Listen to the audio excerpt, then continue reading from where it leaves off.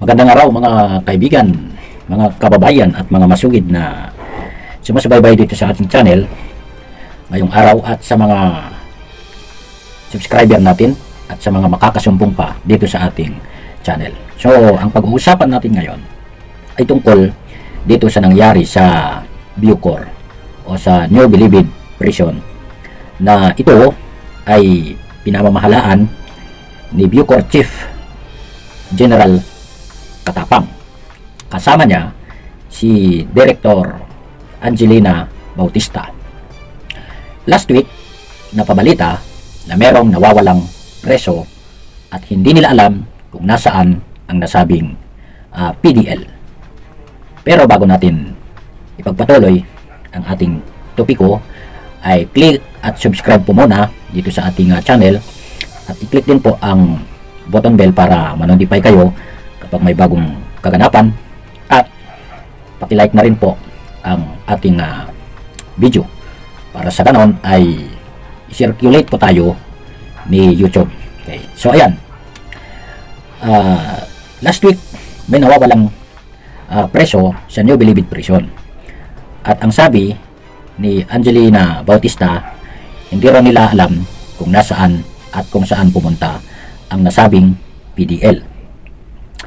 Ah, ngayon, ayon kay Congressman Erwin Tulfo at ah, ayon sa kanyang source o informant ay natagpuan na nila itong nawawalang preso dyan sa New Bilibid Prison sa isang septic tank na patay na.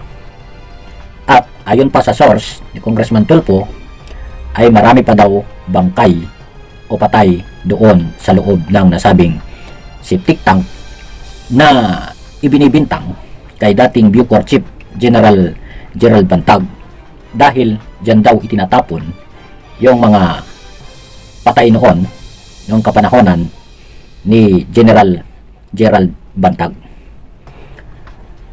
Ngayon, nakapagtataka mga kaibigan, mga kababayan, ilang buwan na wala na si General Gerald Bantag sa Bucor o sa New Bilibid Prison. At kailan lang napabalita sa National TV na merong isang PDL na nawawala at pinaghahanap ng mga taga Bucor na hindi nila mahanap-hanap kung saan siya.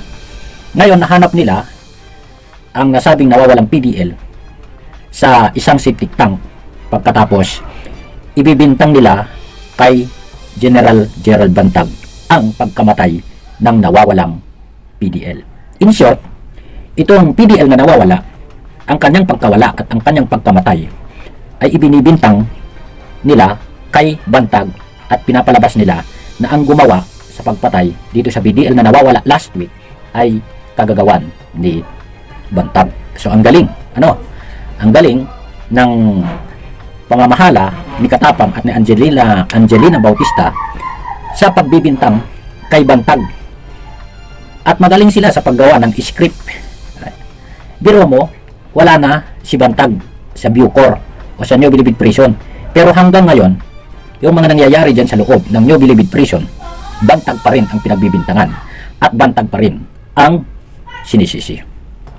So, dito, mas lalong tumibay yung ating hinala na yung nangyari kay Bantag ay frame up talaga para lang mawala sa landas ni Boying Remulla at sa landas ni Katapang at para si Katapang ang uupo bilang Bucor Chief sa New Bilibid Prison. Ngayon, uso na rin dyan pala ang delivery ng mga pagkain. At meron daw na huli na french fries. Ang french fries na ito ay bala. Okay? At ah, nagkaroon na rin ng barilan dyan sa loob ng Bucor. At ang gamit ng mga nakipagbarilan ay high-powered na baril ayon kay Congressman Erwin Tulfo. Okay?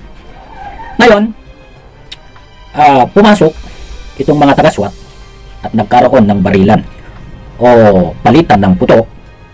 Ang nangyari, siyam ang sugatan at isa ang patay. So, di ba? Ang galing ni Katapang na naghalughog nung siya ay nag-take over sa Bucor.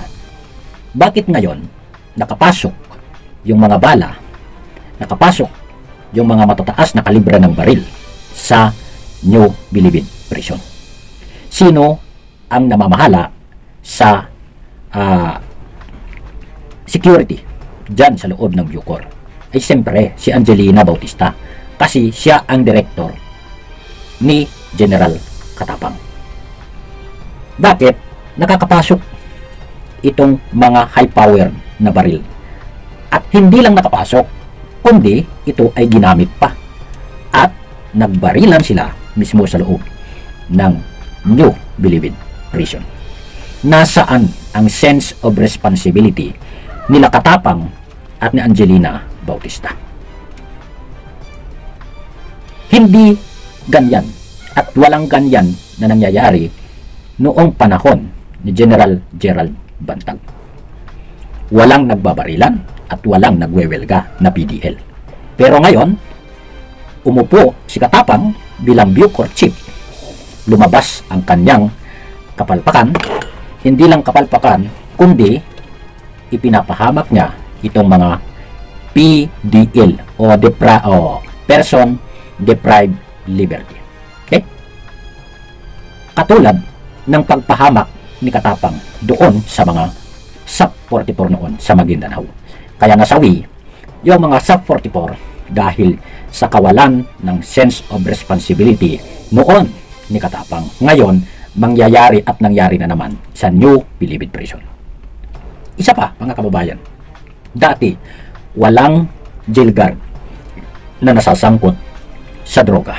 Ngayon, nung umupo si Katapang bilang Bucor Chief ng New Bilibid Prison, merong nasangkot na jail guard tungkol sa droga na siya ay nahuli sa pamamagitan ng buy-bust operation.